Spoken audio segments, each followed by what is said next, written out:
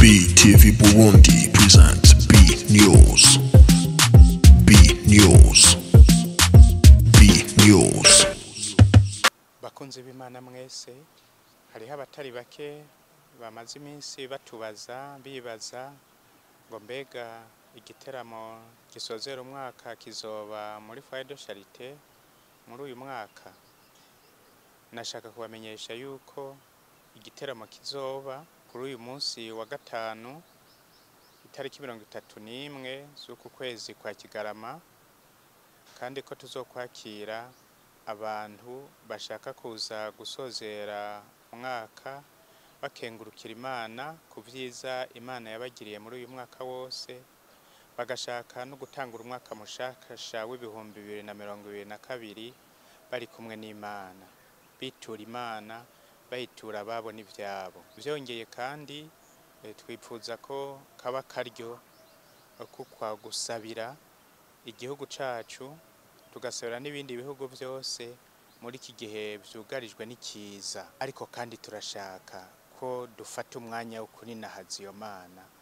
Ku bintu byiza byose yagize yagiriye umwe wese yagiriye igihugu cacu yagiriye mbere n'isi kuko imana yacu ari imana ikora ibyiza ikwiye kuninahazwa no gushemezwa. Twashaka kandi kumenyesha ko muri uko kubakira mwese tazoba turi kumwe gusa n'abashitse muri foyer de charite y'i Bujumbura twarategekanije n'ubundi buryo bijanye n'ubuhinga tugeze ko muri iki gihe bwo kubafasha kugira ngo mushobore abari kure n'abadashobora gushika muri foyer de charite bashobore nabo nyene guteramira imana. Hariho uburyo bwa radio maria hariho uburyo bwa zoom hariho n'uburyo bwa televiziyo yitwa BTV ariyo yiyi mura- mura- murumviriza kw'iri tangazo. Hariho kandi n'uburyo bwa Facebook Facebook ya de Charite ubwo buryo bwose twabutekanije kugira ngo umuntu wese aho ari hose ku isi ashaka guterama ashimira Imana kuri uyu mwaka urangiye yongera ayitura ayitura abiwe n'ivyiwe muri uyu mwaka buca dutangura ashoboye kuhoronka akaryo. Mboneyeho ariko kumenyesha ko eh, dutegerezwa gukurikiza amategeko y'iki gihe turimwo mu vyerekeye kwikingira no gukingira abandi iki kiza.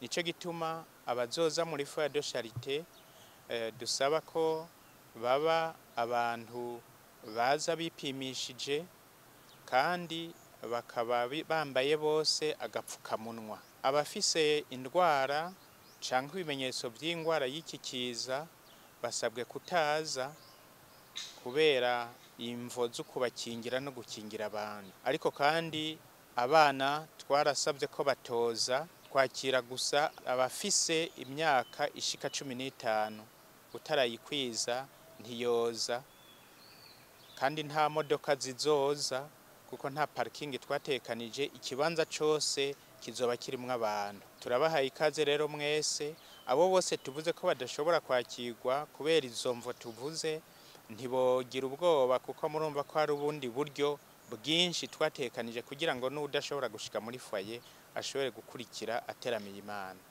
Tubaye turabaha ikaze turabipfurije eh, kuroranirwa kandi turabipfurije kuronka imihezagiro n'imigisha y'imana mu gusozera uyu mwaka no mu gutanga urundi mushasha tugire kristo BTV Burundi presents B News.